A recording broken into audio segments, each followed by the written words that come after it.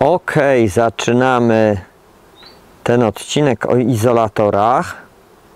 Mam nadzieję, że e, komuś to się przyda. O co chodzi? No właśnie dzisiaj, dzisiaj między innymi też, ale już to trwa od kilku dni. E, ładuję matki do takich izolatorów.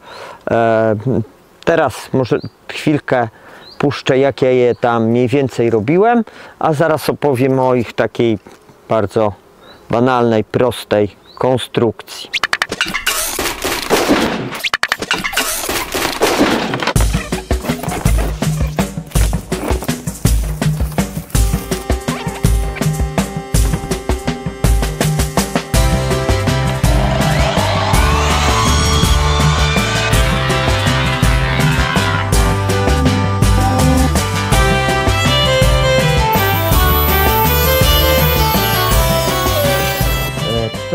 4-metrowa deska, czy tam 4,5 metrowa zamieniła się w listeweczki. Tak to wygląda. No i okej, i mam e, taki stan w tej chwili. Jestem w szoku, że z tak e, no po prostu dużej deski powstało tylko tyle tego materiału.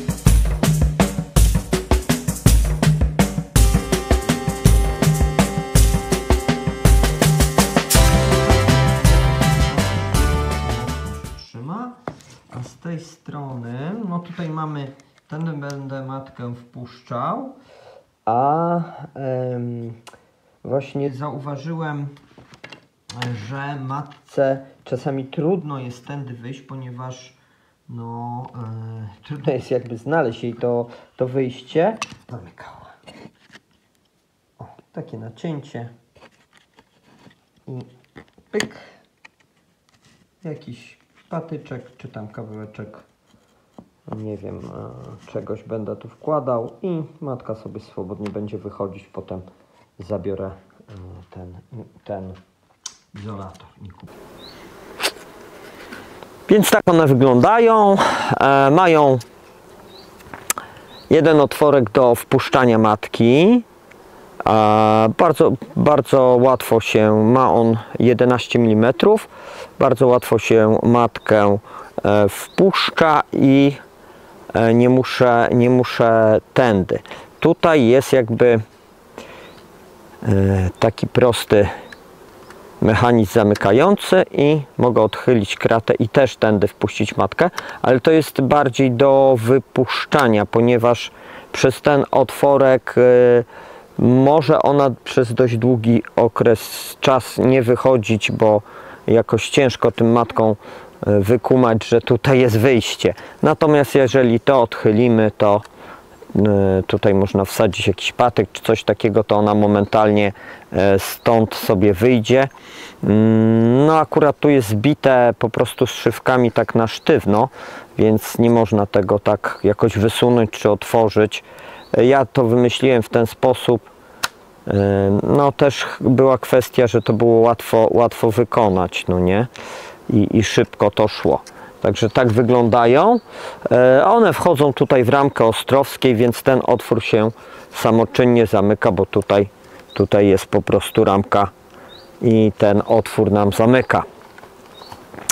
E, No więc tak, teraz, teraz może spróbuję e, wyszukać matkę. Ok, także rozpalimy tu podkurzacz. Uważajcie na palniki tego typu, bo w, ja go ostatnio o, zostawiłem w takiej fazie. Nie było w słońcu był, więc nie widziałem, że się pali. Dokręciłem niby tą gałeczkę, ale niestety nie zgasił się on i e, był na pace w samochodzie.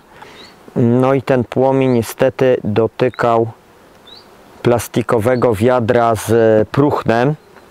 No i się mi to zapaliło w środku, więc e, gdybym e, wcześniej tego nie zauważył, to naprawdę mogłoby być słabo.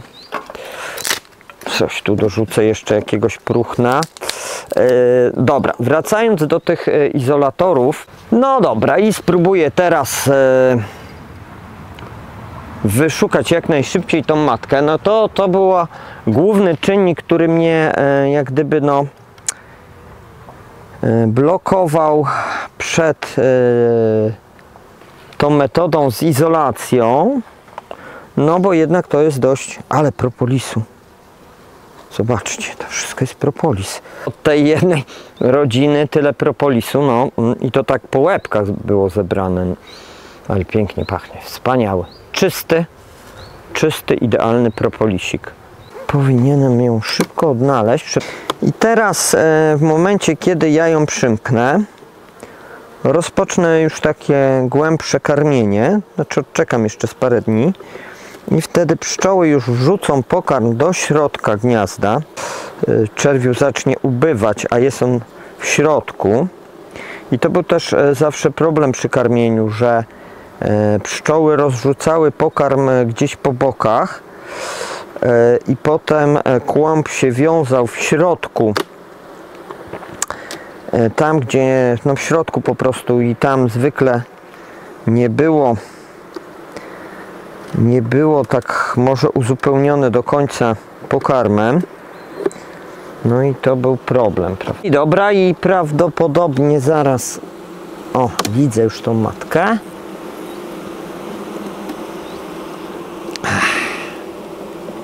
Ok. Biorę ten izolatorek. Mateczkę pyk. Proszę bardzo. Najlepiej one właśnie przez ten otwór tu wchodzą. I teraz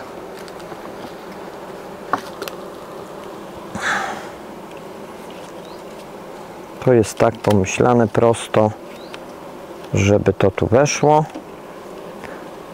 I mamy coś takiego. I potem jak będę chciał ją wypuścić, to odchylę tutaj jakikolwiek i ona sobie tędy łatwo wyjdzie, no nie? Dlatego jeszcze zrobię tutaj jeden numer.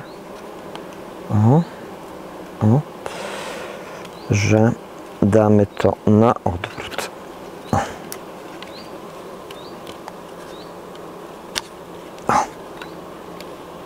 o. I teraz sobie do górnego korpusu ją włożę, także tu tu złożę tak jak było tu już złożę ogólnie też gniazdo złożę tak jakby to już miało być na zimę więc tak jak mówię z jednej strony ograniczamy wychowanie tego czerwiu no i to jest e, może trochę do pewnego stopnia ta rodzina nie będzie tak silna, ale jakość pszczoły będzie o wiele większa. Będą to pszczoły dużo bardziej długowieczne, no tak w cudzysłowie, ponieważ e, no mm, nie będą karmiły aż takiej ilości czerwiu więc ich zasoby ciała tłuszczowego powinny być lepsze. Więc ta pszczoła ładnie przezimuje, spokojnie. E, zużyje mniej pokarmu. I teraz one zużyją mniej pokarmu, ponieważ no, nie będą wychować, wychowywać tych pokoleń pszczół, które nie są aż tak potrzebne. Pyk cienka coś ta rodzina jest. To jest taka, no zobaczymy jak ona tutaj pójdzie. Czerwiu trochę ma, nawet całkiem niebrzydkiego. No i tutaj damy im tą matkę. Cyk. No i tak to, tak to wygląda. Co my tu mamy? Tu mamy sklenarka z Krasnowa i e, w tych ostatnich dniach to zapakowałem do tych izolatorów no już ponad stówkę matek e, z tym, że mm, odkładów, w odkładach stosuję po prostu leczenie e, bez izolacji. E, natomiast e, no, w rodzinach tych takich produkcyjnych, dużych rodzinach, które mm, no, po prostu pracowały, zbierały miód, to e, właśnie izoluję i po tych 100 odnalezionych matkach mam pewne przemyślenia, które, które spróbuję teraz Wam przekazać. No, to odnajdywanie matek to naprawdę trzeba w tym się ćwiczyć. Oczywiście, no, też e, byłem przekonany, że co najmniej 90% e, e, matek w tych ulach jest znakowanych. Okazało się to nie do końca prawdą, bo gdzieś tam sobie same podmieniły, gdzieś tam odpadł znaczek. No i tak e, niestety się okazało, że więcej jest tych nieznakowanych. No oczywiście tam, gdzie znaczka nie było, zdarzało się, że e, długo trwało to odnajdywanie tej matki, e, albo jej w ogóle nie znalazłem i tam po prostu odznaczałem ten ul jako do leczenia tego standardowego, e, bo po prostu nie chciało mi się tracić czasu, ta matka mogła gdzieś tam mi spaść w trakcie tego przeglądania, mogła, e, nie wiem, gdzieś na dnie ula się schować, no e, po prostu e, w takich naprawdę silnych rodzinach, gdzie ta matka jest nieznakowana, to jest to, jest to problem. No, zaizolowane. Dwóch nie znalazłem w tej pasiece i odpuściłem i em, po prostu już nauczony doświadczeniem, żeby nie cisnąć, bo to nic nie daje. Jeżeli nie mogłem E, matki e, znaleźć e, tak po prostu w ciągu no, do 5 minut to znaczy, że coś tam było innego, czyli gdzieś matka, nie wiem, spadła na dno lub w ogóle podczas przeglądu mi spadła na trawę, więc no albo się gdzieś w jakąś dziurę schowała i nie było opcji, żeby ją znaleźć. Dobra, gdzie jest tutaj ta matka? Taki problem, o i widzę ją, widzę. Dobra, bierzemy izolatorek. Wszystko przygotowane. To jest młoda matka, ona by tutaj jeszcze grubo naczerwiła, ale już, już, już dość długo ona tutaj. Opa, opa, opa, opa, opa.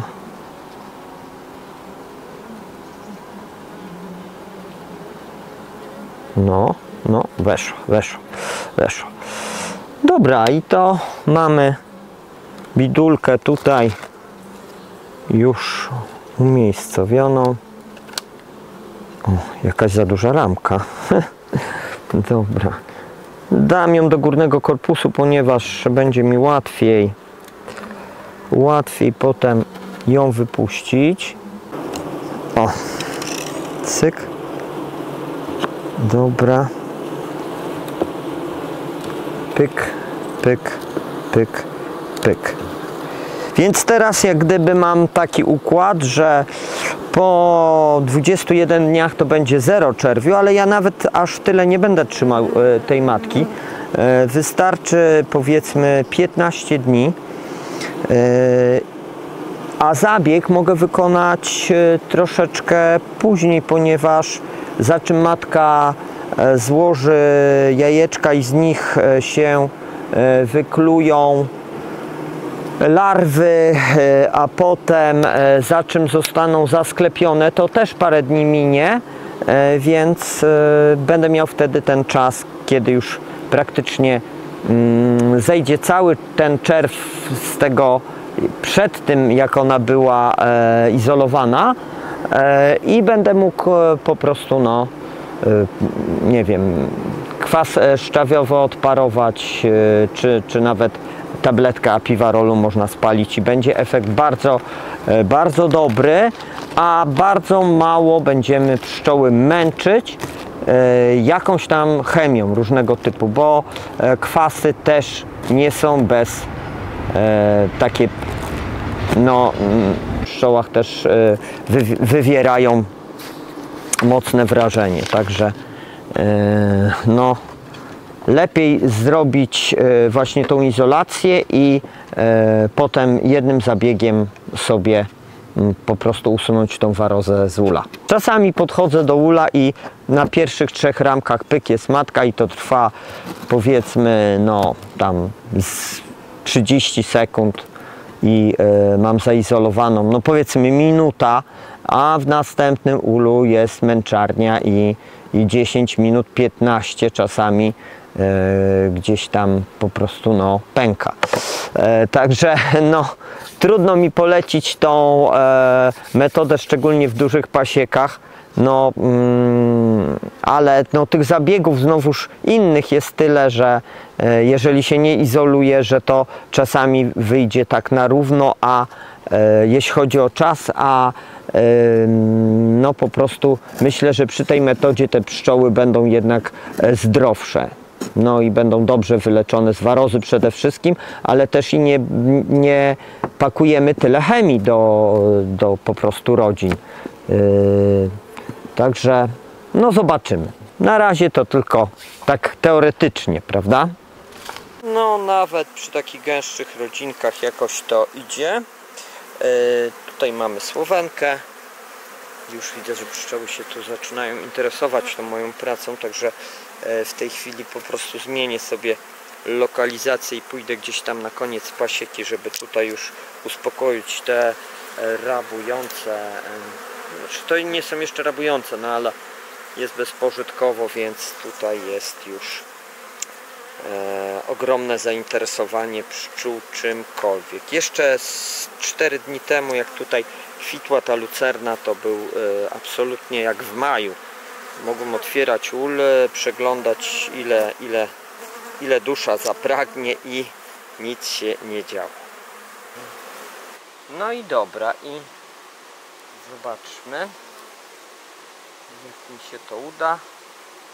Ja miałem wątpliwości, czy pszczoły nie będą tu w środku, w, tej, w tym izolatorze budować plaster, ale jak widzicie nic się takiego nie stało. Na szczęście też y, tutaj nie został ten plaster wybudowany, bo bym musiał to czyścić. No dobra. Zobaczmy, czy matka jest. Zostało to nieco przypropolisowane. No i ja to po prostu sadzę tu jakiś patyczek i wtedy matka na pewno wyjdzie. Tak to, tak to wygląda. Do przyszłego roku już będę miał prawie komplet na całą pasiekę tych, y, tych izolatorów. Także w przyszłym roku mi się to już y, też, też fajnie tutaj jakby sprawdzi.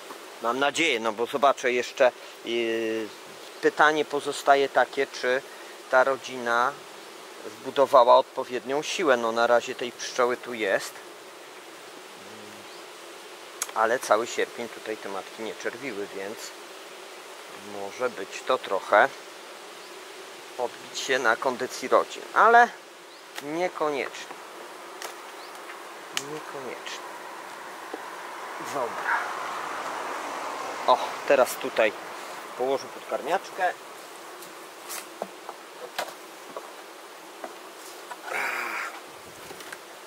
I będzie ok. Tu jest igliwie wrzucone, żeby się pszczółki nie topiły i wtedy dużo szybciej pobierają. O! I mamy temat z głowy. I będę tutaj e, nalewał e, pompą, bo teraz stosuję nie wiaderka tylko, e, mam wąż, pompa i 300 litrowa beczka na samochodzie. Na razie tak w taki prosty sposób to robię, że e, ktoś mi tam włącza i wyłącza tą pompę, e, ale mam nadzieję, że to zmechanizuję jeszcze troszkę bardziej, żebym mógł to sam obsługiwać.